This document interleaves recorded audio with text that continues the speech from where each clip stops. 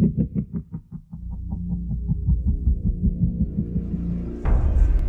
fait d'être une femme, est-ce que ça change quelque chose, la vue d'une part des musiciens qui, qui sont avec toi et d'autre part du public? Est-ce que tu attires un public plus mixte, on va dire, qu'un groupe de, de métal traditionnel où c'est euh, des tatoués, des longs cheveux? Bon, C'est un peu le stéréotype, hein, bien sûr. Je, oui, je pense par défaut, quand on est une femme et qu'on se fait un petit peu jolie, on va, même si on chante pas bien, à la limite, c'est waouh, elle est belle. Donc, euh, oui, clairement. Maintenant, moi, je me considère pas trop. Enfin, je ne. Je ne suis pas comme une femme. Si, mais je, je pense que justement, ce- cet aspect viril, Oui. quand je chante, je l'ai aussi.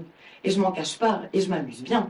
Et, et j'ai l'impression qu'on a tous ça en nous. On a ce, ce côté féminin, masculin.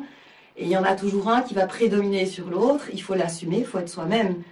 Euh, moi, si demain je commence à euh, chanter comme ça, à faire attention à mes cheveux tout le temps, ben, je, je, c'est pas un mal, mais ce sera pas moi Mhm. ce sera pas moi. Donc, c'est c'est le plus important. Donc, oui, ça influence clairement, même dans le groupe.